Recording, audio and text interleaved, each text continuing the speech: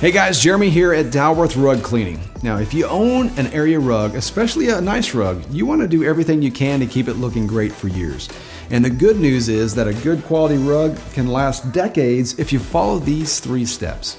Number one is regular vacuuming. Now, look, it sounds simple, but it's so important.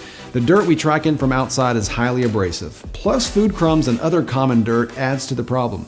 With regular vacuuming, you will remove more than you may think. Also, vacuum your rug several times from different directions to loosen the dirt between the fibers.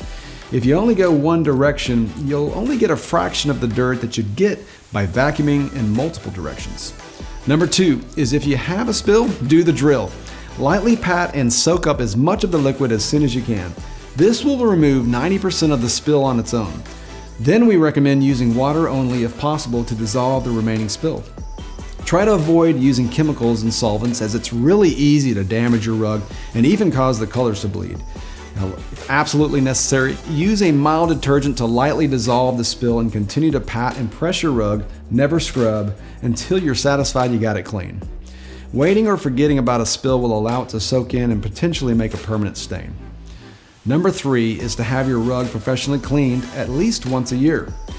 With the gentle, professional cleaning process at Dalworth Rug Cleaning, we'll remove the deep down abrasive dirt and dust your vacuum can't reach and dissolve embedded oils and dry liquids that make your rug look dingy and can also attract additional soil particles.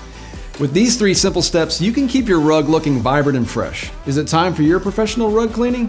If so, call Dalworth Rug Cleaning at 469 296 5155 today and ask about our current special. And call before 5 for same day pickup.